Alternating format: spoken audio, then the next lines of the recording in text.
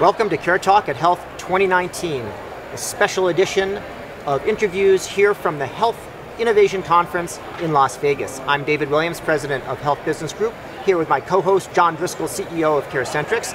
and today we have our guest Marcus Osborne. He is VP of Health and Wellness Transformation at Walmart.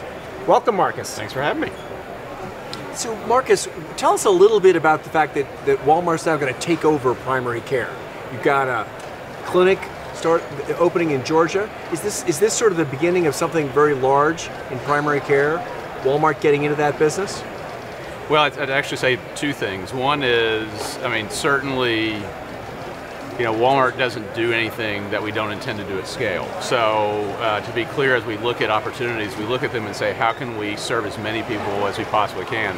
I think that said, what we're doing in Georgia I, I, we call it a test, and it's a test not to determine whether this is a business we want to be in, but it's a test to determine can we get the model right. And so it really is a test to learn.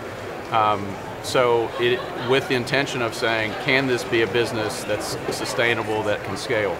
I think the other thing that I would sort of tell you is, I, I think a lot of people actually don't really kind of entirely know or understand what we've done in Georgia. I think a lot of people say they define it as a primary care clinic. It's, it's not a primary care clinic. I mean, one of the kind of funnier things about it is it is an 11,000 square foot space that houses a full array of health services. It's as big as a CVS. Really? And and and what it actually is doing, what the who's CVS? Who is? That's a good uh, question. Uh, consumer value stores. Yes, uh, but they. Uh, but you, you, look at it, and so I think you think about it's not that we just put a broad array of services primary care, labs, imaging, behavioral health, which has been a huge component of it, uh, vision, hearing, uh, dentistry but it's actually the it, when you go into it and see, we actually integrated them. These these are groups who heretofore you really you don't you never really see dentists and primary care physicians and behavioral health specialists and audiologists ever having to work together. We actually shoved them into the same space, and so we're making them kind of find new ways to work together to the to the betterment of the consumer. The rationale, quite frankly, is if you can do it and do it well, there's some efficiencies gained from the scope of services, from, from the breadth of services. In much the same way you see that in our supercenter, because we sell food and general merchandise, we actually get we get advantages of scale there. But the second thing is we're now starting to see the type a type of care that uh, customers didn't really anticipate. Sort of whole person care? Is that, yeah, how, I mean, you, how would you think of, how well, would you describe it? I, will I'll tell you, I mean, I'll give you an interesting quick story that just popped up the other day. It was, um, the, we, we heard about a strange interaction between a patient who had gone in to see the dentist and the court, they were having a filling done. And the dentist noticed in the course of them doing that filling that, um, that this patient couldn't hear him uh, because he noticed that we went in to do the drill. The guy jumped really quick and he said, I just told you that was coming yeah. in. Was, there, was that painful? He said, No, I didn't know you were doing it. He said, I told you a couple of times I was doing it. And he realized when he was on the side of the guy, the guy couldn't hear him. And so he said, have, Do you have a hearing issue? Have you ever had that done? And with next thing you know, the guy's down sure. getting a hearing test, sure. getting hearing aids. And you think about that type of I, recognizing they're there to address the full health needs of that mm-hmm. individual and so I think that that really is the ambition. Can you can you bring together that sort of full, a much broader scope than anybody ever anticipated could be done at retail, and get them to kind of work together in a way to deliver uh, care for that individual and care for their family that we've never seen before. You know, Marcus, one of the, one of the things yeah. that's, uh, you know, I think about Walmart and I think about something that's at scale, as yeah. you said. I want to ask about that in a minute, but also inexpensive. And I saw the price list, yeah. and those prices look like copay prices are, are lower. What I mean, how low are the prices, and is that is that how for low can you go? Yeah. Yeah. Uh, I mean, like single digit prices. Well, we got uh, well on, on, most of them. If you look at it, say forty dollars for a core primary care visit, forty-five. Not the copay. Uh, not the that's copay. the whole price. That's if you, it doesn't matter if you're insured or uninsured. That's your that's your cash price.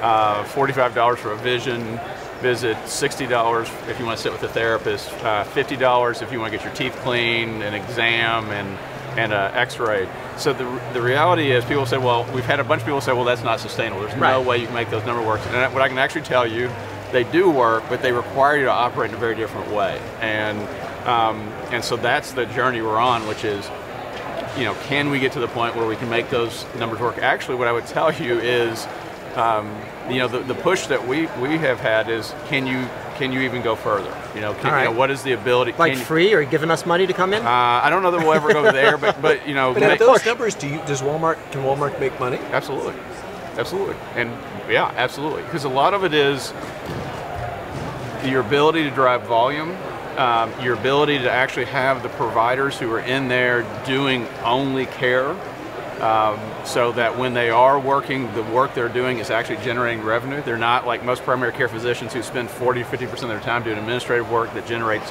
no revenue, no return. Um, and so you know, the challenge that we have is how do you actually figure out how to operate these spaces as efficiently and effectively as possible. And one of the things that we're testing, which is somewhat funny, um, when we went into it, we started to ask questions. Well, has anybody ever done you know pricing elasticity studies on healthcare services?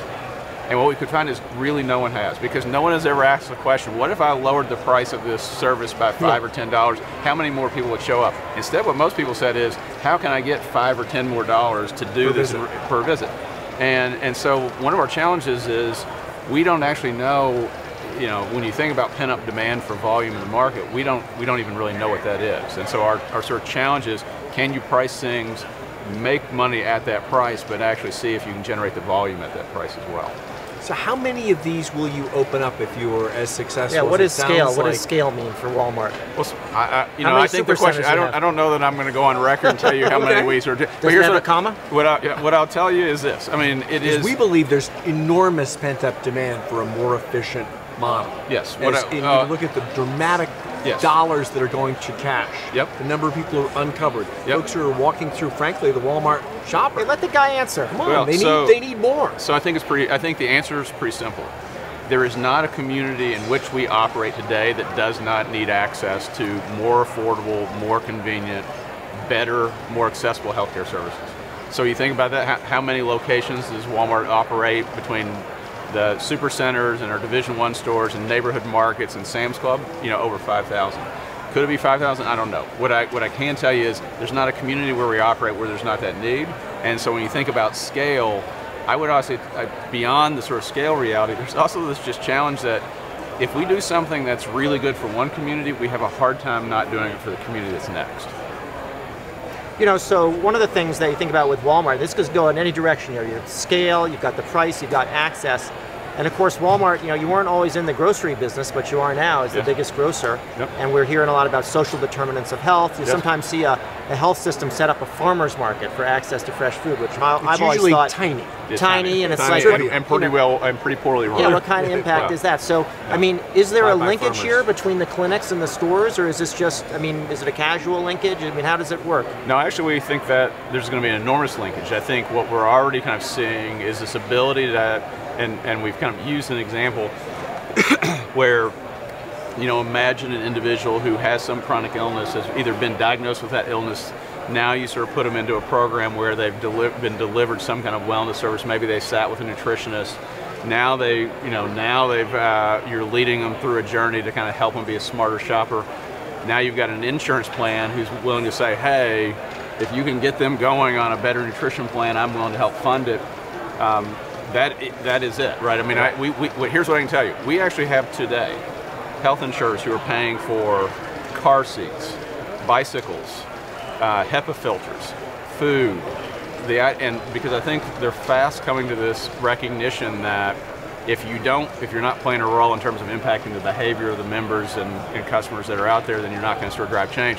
So our view is that actually is our great advantage that all the things that an individual needs to be healthy, from the care services they need, and certainly the, the traditional kind of healthcare stuff, pharmaceuticals and the like, but also food, exercise, sleep, all those, those are all things that we are the biggest purveyors of, right? Yeah. You know, like tell people, we sell more than half the bikes that are Yeah. used in the United States. And so our ability to impact the health of, of people in the communities we're in is critical. It would feel like food is is is, is one of the underutilized Yes. superpowers Yes. to actually improve wellness. How have you thought about how you're going to integrate food into the clinic yet, or are they two separate lines right now? Because it is you have the best prices. Yep. You've been able to provide great food at a very low price to folks who are on the border of not being able to afford it. How will how, do you have a vision for how you might integrate that into kind of those visits and that care? And food and beverage. Yeah. So what I would say is, you know, certainly we, we use sort of the example of the community community wellness room that we have in there where we're actually doing nutrition classes, cooking classes for diabetics, those kind of things. So the idea of building a service that enables people to better, you know, better understand their nutrition and figure out how to, um, you know, cook healthier, eat healthier, those kind of things. The ability, so, so the short answer is yes. I mean, the way we sort of think about it is we're building a platform that enables you to kind of link all those parts. And so you think about other capabilities like online grocery pickup, which enables somebody to today go on a mobile phone, identify a set of items they want to order, and then drive to the store and somebody brings the kit out to their home. Moving to online grocery home delivery, where we actually go into your home and put the food in your refrigerator. Now you start to think about the ability to link a service, uh, maybe it's a traditional healthcare service or nutritional service, linked to the ability to, you know, pre pre-kit meals or pre-kit food for somebody who has a specific need and even delivered to their home, the idea that you can just do that all kind of, you know, set it and forget it, mm-hmm. um, that's exactly where we want to go, mm-hmm. and I think where we see an enormous opportunity, and where the assets that we have lend themselves very nicely. And how do you think about care to the home? Obviously, at CareCentrix, we're thinking a lot about yes. how we can shift more care yep. out of high cost into low cost you've got a bunch of services that, that could actually augment and support that. Yep. How do you think about that as integrating, or do you think of it, your care provision is more episodic, or do you sort of see it as continuous? No, I think it's, I think there's two things. One, we see it as continuous, and we, two, we talk a lot about um, the world being omni-channel, and by omni-channel and integrated omni-channel, what we really mean by that is people who are only thinking about one channel with which to engage a consumer, be it in retail or in healthcare, I think have got it all wrong. And so for us, it's this idea of, so to the home becomes a critical component of this, which says, as you're thinking about trying to truly drive impact, some of it is going to be the ability to serve them through near site solutions. Yep. Some of it's going to be the ability to use digital solutions and just let them sort of control that experience themselves. Some of it's going to be our ability to actually go into your home and provide you some support. It might, it might be something simple, nothing more than uh, a, a, kind of personal care assistant type mode, which says, "Do you have super critical if you're absolutely. if you're if you're, if you're insecure?" Yeah, yeah. Do you have food in your refrigerator? Do you do you, you know? If, do you even have a toilet toilet paper on your toilet paper roll? Those things actually matter if and and so we recognize for us, so care at home actually becomes a critical component of what we sort of envision the the the kind of the the ultimate, the full the ultimate solution. Yep, absolutely. Marcus, we've had some uh, guests on the show here at the conference that have been talking about mental health and access yes. to mental health. Yep. And you talked a bit about you know the variety of services that are offered. You talked about dental and mental health is also offered. How what yep. is your model for that? Because that's usually very expensive and hard to access. Well, that's the one for us. Um, as we mentioned, that's the one from a pricing perspective that's probably generated the most interest. We we priced uh, general therapy at a dollar uh, or a, a, a, dollar a minute. So if you want to sit with a therapist and talk to them, it's about sixty dollars. In Dallas, Georgia, to give you some perspective, if you were accessing you should therapy, think about that, David, because you could you could you could use a lot of minutes. I'll pay you. You guys teaming up on me? Yeah, yeah no, he wouldn't listen. When it was a dollar fifty a minute, he wasn't offering. Yeah, yeah. Okay, let's just put it that way on the record. Well, but, it's, but it's a but it's a that that that model is a game changer. It is in terms of access and price. I mean, I just yes. want to be very clear. We've talked a lot about how critically important access and availability is. Yeah. If you can provide that at scale, it's yes. a, it's it will change that market. And well, and that's that's sort of a good example of a business that most people don't really tend to think about scale and volume and so what you tend to have is the therapists and social workers that we have there are wildly underutilized. Yeah. And so our challenge is says we know. I mean, this is these are the facts. You know, people who are who are dealing with chronic illness, most of them are also dealing with diagnosed or undiagnosed behavioral health issues. Uh, we, we claim that there's not an ability to address their needs. In fact, there's more than enough capacity of people who can deliver behavioral health uh, solutions in the market. It's the challenge of no one agrees with you here. They think we have to add more supply, add more dollars. You're, uh, you're, you're saying? Can you say go, that go, again? Go, go, do the go do the count of how many social workers are have people who have graduated with degrees in social work exist in the United States. We, we, there are lots. It's just they are in the wrong place. You have put them where people aren't now put them where people are, and then actually make it accessible by saying, I'm not going to price this at $142 an hour, I'm going to price this at 60 bucks an hour. I'm not going to make uh, addiction treatment support programs be wildly inaccessible. I'm going to make them accessible because they're going to be where you are. I'm going to, and so a lot of it, I think, for us, I, what I will tell you is I think part of the issue we've had in behavioral health is we're still embarrassed about it. We still view sort of behavioral stigma health with that stigma. And, and so we aren't willing to kind of put it front and center because we don't think that people uh, want to sort of engage it. Instead, what we see is the exact opposite. When we sort of talk about these services, um, people are more, you know, more than excited, more glad to kind of engage in them, really? saying, you know, thank you for actually bringing them to us because I didn't even know how to, where to find them. So. Yeah a lot of it is it, it is that sort of access channel. Did you Great. No, I saw. The last question to well, you, John. No, I'm being I, I polite think, now that you've offered to pay for my treatment. I feel like I need to let well, you have the last think, word. You know, you know, Marcus, you've been at the leader of uh, of a movement um, of one of the best retailers in the world. It's created all kinds of new consumer models. It's changed the way a lot of consumers actually access retail. You've also been in healthcare for a long time. What's the most important lesson retail can teach healthcare? What's what, you, oh. got, we've got I don't know ten thousand people here, yep. all coming up with new business models that are that, that claim to be bending the cost curve. Yep. But they didn't say which direction. Which, exactly. They did not say. Exactly. what can retail teach healthcare? Well, and it was fun. I'm actually going to. My answer is going to be based on that. Okay. What, that, what I would te- what I tell you is that traditionally the models that we sort of seen are either you have groups who say we, we, we have driven enormous success, except you look at it and say, well, you can only get 1% engagement. Or they say, we get a lot of engagement. And you're like, yeah, but you're like Fitbit.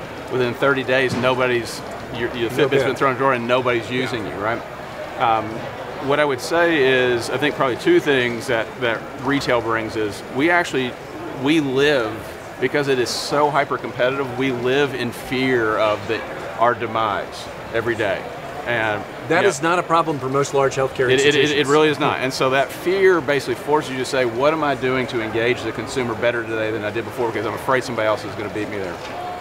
And so that, that sort of, that, that kind of complete focus on driving complete scaled engagement becomes critical. I think the second thing is just quite frankly, and we talk a lot about this, that most of the healthcare system operates under this, uh, it sounds a little academic, but I'll call it the balanced interest paradigm that says uh, the best solutions are those in which all the needs of the key groups are addressed. As long as you address the needs of the patient and the payer and the provider and in some cases the product manufacturers, pharma and device manufacturers, then you've got a great solution. I think what retail can teach healthcare is that is bull. If you want to build a solution that works, there's only one group that matters, it's the consumer. Everybody else serves that consumer, and if you want to build things that, that are successful, that's what you do. In fact, what we've seen is the groups who have done that there are two things. One is they generate the greatest success. Two, they end up benefiting the payers and the providers, even though they had a complete focus on the consumer. The benefits that accrued to the rest of the groups was greater than those who were designing. It's a system effect. Yes, that's right. And so I think this this kind of just belligerent focus on the needs of the consumer um, is it, that is a sort of that is a critical or necessary perspective to bring to the healthcare solutions development debate that I think is missing. And, and so that's why I, I, think it's exciting to see Amazon and CVS and Walgreens and Walmart and Kroger and Costco and others. And all the other little guys. And Alibaba and whoever else, yeah. you know, who's going to sort of come in because that's the, that's the sort of filter they bring. Mm-hmm. Well, thank you to Marcus Osborne, VP of Healthcare Wellness wellness transformation, transformation of healthcare or wellness, or both? I'll do it all. Health and wellness transformation at Walmart. Uh, you can see all of the special series that we're doing at HLTH 2019 on your YouTube playlist or listen on your favorite podcast service. And remember, whatever you do, subscribe to Care Talk so you'll never miss another episode. Subscribe now. Thank you. Hey there, listeners. Want more Care Talk? There's more to be had in our other episodes, so be sure to look for those and subscribe to Care Talk on your favorite service.